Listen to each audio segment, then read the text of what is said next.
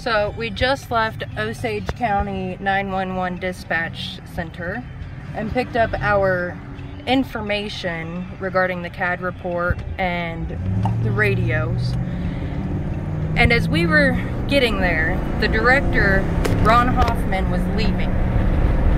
And then I see this wonderful sign, or this wonderful scene right up here, which I'm about to show you, which is Officer Cade, number 706, the one who harasses me, or at least harassed me once, right there with Mr. Hoffman talking. I wonder what they're discussing.